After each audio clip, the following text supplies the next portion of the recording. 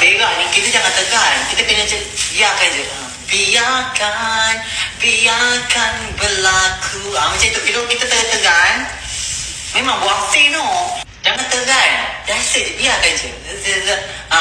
Kalau benda tu ada lagi dalam tu, biarkan je. Jangan paksa-paksa.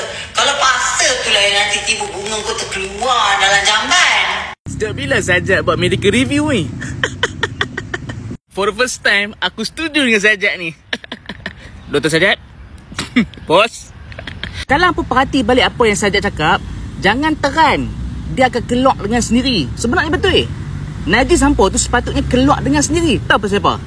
Hari ni aku nak ajak apa topik agak kotor sikit.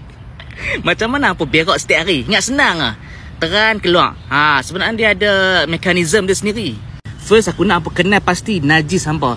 Yang ni carta carta kita panggil sebagai Bristol Stool Chart di mana doktor nak tengok kesihatan usus hampa.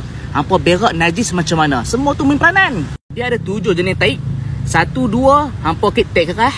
Lepas tu lima, enam, tujuh, hampa cirik berik. Yang normal cuma tiga dan empat sahaja. Ingat, normal tiga dan empat sahaja.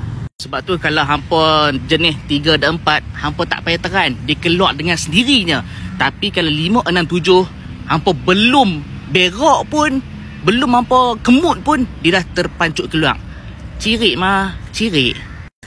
Pernah satu kes tau, dia cirik sampai menyembung. Macam ayat pancut tu. Pernah jadi, apa jangan gelak.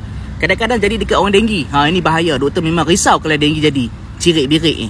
Dan kadang-kadang dia silap makan, ada food poisoning ke ataupun AGE ke, boleh cirik-birik juga. So hampa kena back in mind, okey? Okey, aku tanya hampa. Sebenarnya najis hampa tu terhasil ataupun dihasilkan dekat mana? Dekat usus besar lah. Pasal apa? Contoh kalau hampa makan nasi lemukan, dia turun dekat perut, turun dekat semua intestin, dia serak semua, dicerna semua, lepas tu dimasuk dekat usus besar. Lama-lama dia akan jadi tekstur najis dan disimpan dekat rektum sebelum dilaburkan. Ha, itulah kita panggil sebagai defecation mechanism. Cara hampa buang ataupun berak lah dalam bahasa Melayu. Macam saja cakap, hampa tak perlu taran. Dia akan keluar dengan sendirinya bila hampa duduk uh, canggung.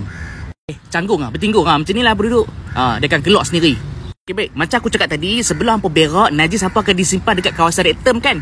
Okey, hampa tengok hampa fokus dekat sini eh. Dan kenapa aku setuju dengan sajak cakap najis akan keluar sendiri? Ha, ini reason dia. Bila hampa tengok balik rektum hampa, ada dua injap tau. Satu internal anal sphincter dalam, external anal sphincter, luang.